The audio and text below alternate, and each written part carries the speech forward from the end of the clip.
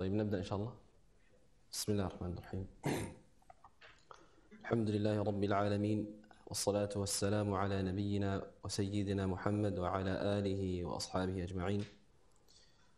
الحمد لله الذي جعل الترتيل طريق قراءة القرآن فاختاره عز وجل وفخمه فقال عز وجل ورتلناه ترتيلا وأمرنا به ودعانا إليه وحثنا عليه وقال عز وجل ورتل القرآن ترتيلا. والصلاة والسلام على سيدنا ونبينا محمد الذي جعل القراءة سنة متبع. ضابطه الاتباع ولا تحمل الاجتهاد ولا التساهل ولا التخيير ولا الابتداع. حيث قال صلى الله عليه وسلم اقرأوا كما علمتم صلى الله عليه وعلى آله وصحبه والتابعين لهم بإحسان إلى يوم الثناء. اللهم لا علم لنا إلا ما علمتنا إنك أنت العليم الحكيم اللهم زدنا علما وفهما وتوفيقا وسدادا برحمتك يا أرحم الراحمين السلام عليكم ورحمة الله وبركاته We begin with the praise of Allah and sending the salutation on the, on the Prophet ﷺ. Um, today is the 23rd of October, 2024. And in terms of the Hijri calendar, it is the 20, 20th of Rabi' al-Thani, 1446, after the Hijrah of the Prophet. This is the first lecture in which we are studying Tajweed, and is based on the syllabus of our Sheikh, uh, Sheikh Musa, uh, Hafidhahullah. Before we start, inshallah, I want to get, go over some logistics right, of how this course is going to run, inshallah, for the future. So, as you guys know, this course is every Wednesday, 4 p.m. to 6 p.m. inshallah. We, ho- we hope that it will stay at that time. Um, it could be delayed, inshallah, but so long as, so long as uh, we don't tell you any, otherwise it will be 4 to 6, inshallah. And it's open to both brothers and sisters. Well, mashallah, um, we see there's not a lot of sisters here, alhamdulillah. Um, Naam. On that note, inshallah, I wanted to encourage uh, everyone, whether it be brothers or sisters, inshallah, to try and attend on site, inshallah, to get the most reward and the best benefit. We know that the Prophet ﷺ said from the famous hadith narrated by Abu Darda radiallahu anhu, من سلك طريقا يطلب فيه علما سلك الله به طريقا من طرق الجنة. That whoever takes a path to, of seeking knowledge, Allah will make for him easy one of the paths to Jannah. Now, so this is your this is your easy way to go to Jannah by attending these lessons. Bismillah ta'ala. And that's not the end of the hadith. The hadith continues. SubhanAllah, it's a very beautiful hadith and it's a very it's, it's, yani, it's a decent length of the hadith. He mentions all of this is mentioning the virtues of seeking knowledge. Now, taking the path of seeking knowledge. He says after that, sallallahu alayhi wasallam, والملائكة وإن الملائكة لا تضع أجنحتها رضا لطالب العلم that the student of knowledge, for the angels will lower their wings for the student of knowledge. Now, in another narration, our sheikh mentioned, one of our sheikhs mentioned that there's another narration which says, "La tabasutu ajnihataha." They will يعني spread out their wings for the for the uh, student of knowledge. Now, you know, you have nowadays when the celebrities or famous people, when they go, they bring out what do they bring out for them? A red carpet.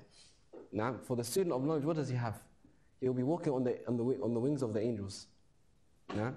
And the hadith doesn't stop there, it continues. Allah, uh, he says, صلى الله عليه وسلم, وإن العالم لا يستغفر له من في السماوات ومن في الأرض.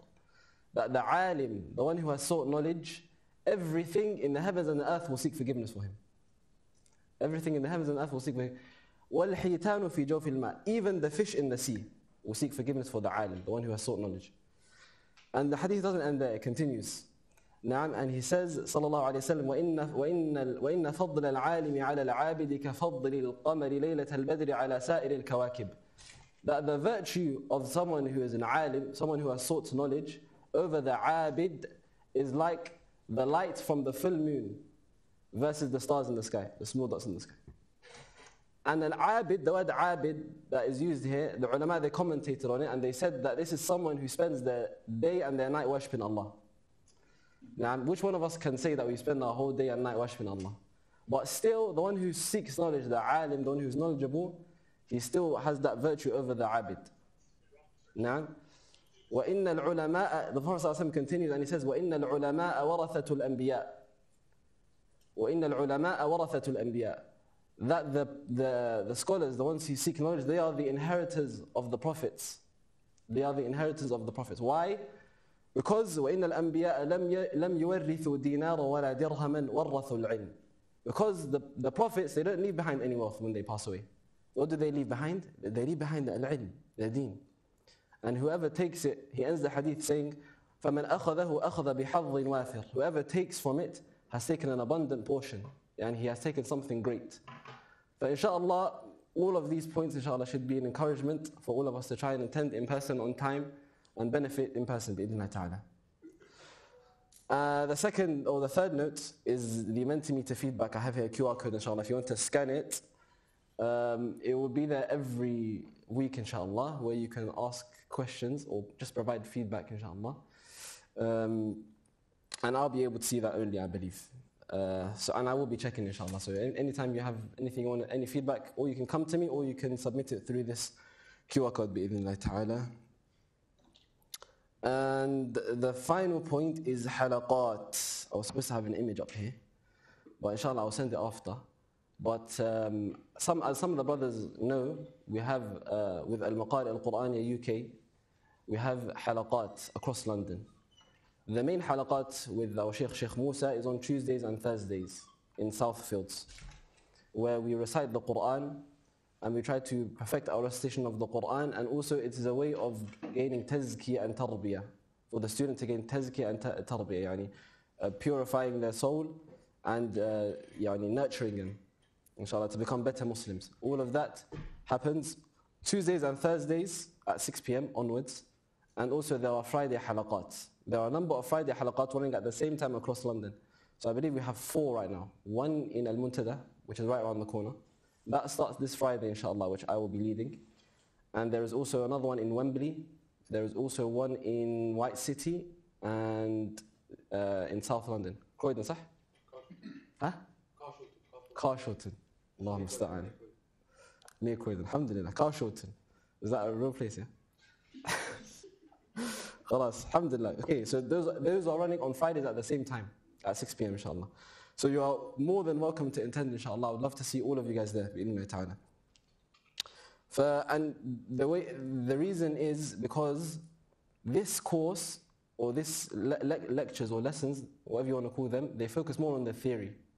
But if you want to get the practical sides of, of things, of the tajweed al-riwayah, the practical tajweed, when you recite to a teacher, which you need to, everyone here needs to recite to a teacher. If they're not already reciting to a teacher, inshallah, find a teacher. Uh, you can do that at these halaqat, bi'idhnillah ta'ala. And for the sisters, inshallah, we'll have something very soon coming uh, for the sisters as well, inshallah. But for now, these halaqat are for the brothers only. Any questions so far? No questions? No? خلاص. And don't feel shy, inshallah. We're all brothers here. طيب, we'll begin, inshallah. What is tajweed? What is tajweed? Before we start, who has studied tajweed before? Well, we have a few hands. Okay, what is tajweed? Don't look at the word. Tajweed is the, the methodology of reciting the Quran the way the Prophet recited. Did you look at the word? Did you look at the word? MashaAllah. Jameel, that was yani, very close. Nam, do you have anything to add to that? Uh, Hasib.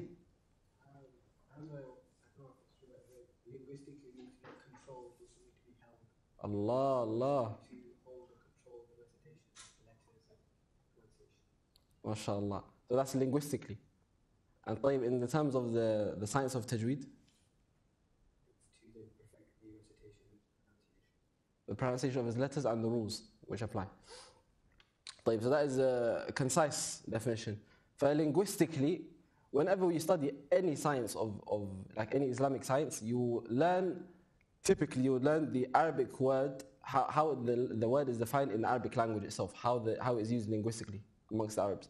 And then you will learn how it's used specifically um, with the people of the science.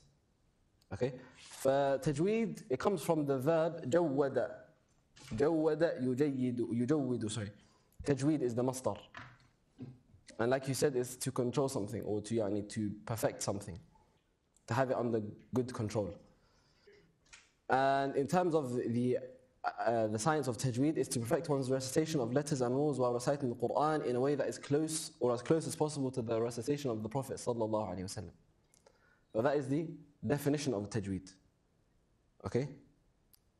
So why should we study tajweed? Why should we study tajweed? First of all, it's obligatory, and this is something that you should highlight and you should underline. Yani, this is something that a lot of people don't pay a lot of attention to. Either they might not know it or they, yani, they're very easygoing with this matter. But it is obligatory upon everyone to recite the Quran with tajweed. It's obligatory upon everyone to recite the Quran with tajweed. Now, I'm not saying that you should know all of the rules of tajweed off by heart. La, but when it comes to its recitation, you must be applying the rules of tajweed correctly. No? From that angle is, is wajib. And Shaykh rahimahullah, he has a, he has a poetry. It's called Tuhfat al-Samanudiyya. And he's a very recent scholar who our Shaykh, Shaykh Abdullah al-Jarrah took from directly. Uh, and he passed away 2008. So roughly, I, think, I believe that is 14, uh, 1425 after the Hijrah, I believe. Around that time, yani. And so he says these lines of poetry. He says, وبعد فالتجويد حتم لازم ما يترك التجويد فهو آثم لأن ربنا به قد أنزل وبالتواتر إلينا وصل وقال آمرا به مؤكدا ورتل القرآن يعني جودا And I would encourage, inshallah, for anyone who can to try and memorize these lines of poetry. He says, the translation of it, that tajweed is something which is obligatory. Whoever abandons tajweed is a sinner. It's quite heavy, right? Whoever abandons tajweed, yani, maybe they might have access to studying tajweed and they, they leave, leave off studying tajweed out of laziness. Right? This is not necessarily talking about someone who wasn't able to access that ilm. فَلَا يُكَلِّفُ اللَّهُ نَفْسًا إِلَّا وَسْعَهَا But for the one who is able to seek this knowledge, which inshallah is everyone in this room, after today. Uh, if they leave it off, يعني, it's when it comes to reading the Quran with tajweed, then they are a sinner. لأن ربنا به قد أنزل because Allah had revealed the Quran and it was to be recited in that way. Allah revealed it. It was sent down uh, by, uh, with Jibreel alayhi salam and it was uh, taught to the Prophet sallallahu by Jibreel alayhi salam. And it came to us. So when we recite the Quran, and we are taught by our teachers who, taught, who are taught by their teachers who are taught by, and it goes all the way. You have a chain which goes back to who? You have a chain which goes back to Allah subhanahu wa ta'ala. نعم? But this is what the, the author means, رحمه الله تعالى. لأن ربنا به قد أنزل وبالتواتر إلينا وصل and it came to us يعني with multiple chains التواتر نعم وقال آمرا به مؤكدا and he said commanding us all of us the believers ورتل القرآن recite the Quran with tartil in a measured way. يعني جودا. يعني with tajweed, he says. Now, so from that angle, we have the angle that it's obligatory upon everyone to recite the Quran with tajweed. Now from the virtues of studying and teaching, we have the hadith of Aisha radiallahu anha. Now, yeah, yeah, go ahead. And this is for everyone. Anyone, just put your hand up if you have any questions. Now. Yeah.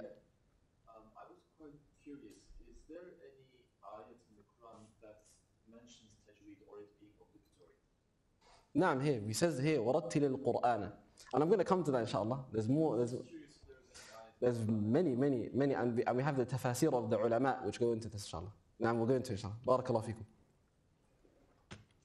طيب uh, so Aisha رضي الله عنها said uh, that the Prophet صلى الله عليه وسلم said الذي يقرأ القرآن وهو ماهر به مع السفرة الكرام البررة that the one who recites the Quran and he is proficient in it he is with yani the angels, the obedient scribes, the honorable and obedient scribes. So he has reached the ranks of the angels, the one who is proficient. He was mutqin yani, in his rules of tajweed, given everything is right. He recites the Quran as it was as close as possible as it was uh, as it was revealed. And the Prophet then mentions, he mentions good news for those who might fall short. والذي يقرأ القرآن وهو يتتعتع فيه وهو عليه شاق فله أجران وله أجران أو كما قال صلى الله عليه وسلم that whoever, whoever recites the Quran and it is, yeah, he struggles with it, or he stutters with it and it is difficult upon him, then he has two rewards. And a reward for reciting and a reward for his struggles. This doesn't mean that he has twice the reward. No, the one who's proficient has more reward, inshallah ta'ala, but he has two rewards. So this shows you the encouragement again to study the rules of tajweed and to be able to recite the Quran as required. And we have the famous hadith, the famous hadith of uh, Uthman radiallahu anhu. He said, خيركم من تعلم القرآن وعلمه. That the best of you are those who study the Quran and teach it. Which is inshallah what we are doing here today. Now, and just on that note, subhanAllah, it's a, it's a big, big blessing that Allah has allowed us to be here. Don't think that we are here because of, of our own ability or our own smartness or whatever it may be. Now, this is tawfiq from Allah. And we ask Allah that Allah allows us to continue and we reach the end of this course and that we and Allah make Allah we ask Allah that He makes us makes this beneficial knowledge for us. Now, in this life and in the hereafter. And that He makes it an evidence for us and not against us. طيب ف why should one study to read more points inshallah to recite a way to recite the Quran in a way which is pleasing to Allah and here's the points which um, our brother was talking about now when it comes to the Quran Allah subhanahu wa ta'ala and its, and its preservation Allah did not leave that for anybody and I want you to really pay attention on this point Allah did not leave that to anybody Allah what did Allah subhanahu wa ta'ala say in Surah Al-Hijr حفاظ الحفاظ Ibrahim? About the, the revelation, about the preservation of the revelation. إِنَّا نَحْنُ إِنَّا نَحْنُ نَزَّلْنَا الذِّكْرَ وَإِنَّا لَهُ لَحَافِظُونَ Allah subhanahu wa ta'ala said in Surah Al-Hijr that we have certainly revealed this dhikr ay al-Quran and we will certainly preserve this.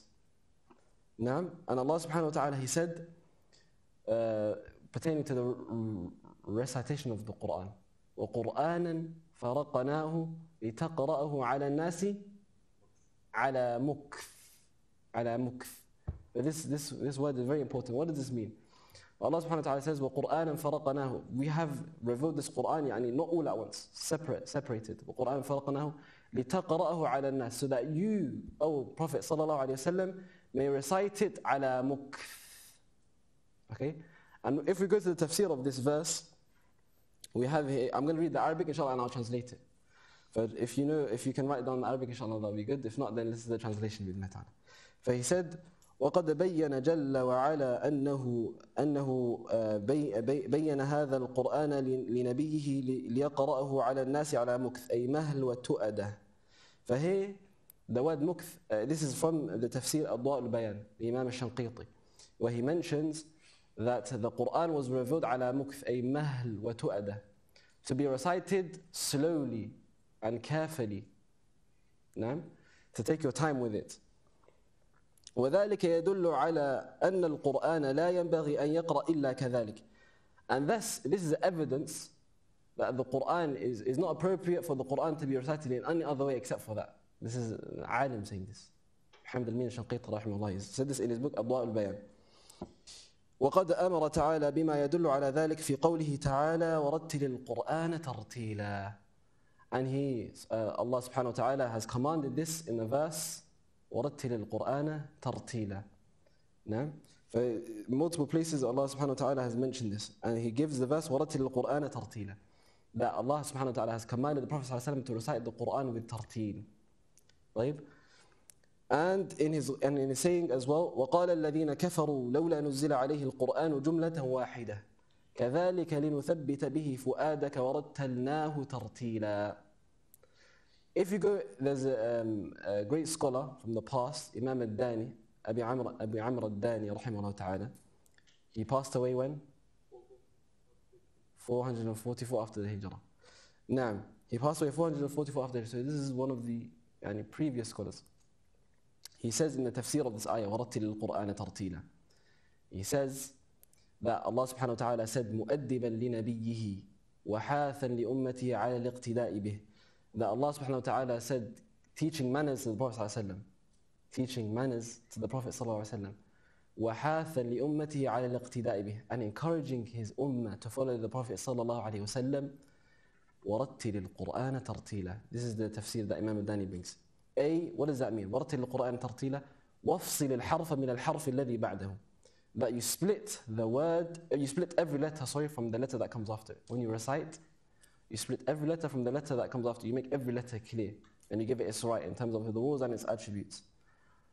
Uh, وفص, uh, أي تلبث في قراءته Take your time in its recitation وافصل الحرف من الحرف الذي بعده and you split every letter from the every letter that comes after it ولا تستعجل and you're not hasty you're not reading the Quran very very fast فتدخل بعض الحروف في بعض so you end up putting letters into each other and you merging letters into each other incorrectly reciting no? and he didn't stop there he said رحمه الله تعالى ولم يقتصر على الأمر بالفعل حتى أكده بمصدره that he did not stop Allah subhanahu wa ta'ala when he, when he mentioned this verse, when he revealed this verse, he did not stop with commanding the Prophet ﷺ to recite the Quran with the fi'l only. This is the Arabic benefit. He said, وَرَتِّلِ الْقُرْآنَ تَرْتِيلًا He brought the masdar right after it, which shows emphasis. نعم? And he says, تَعْظِيمًا لِشَأْنِهِ وَتَرْغِيبًا فِي ثَوَابِهِ Which shows you the severity of the matter, how great this matter is.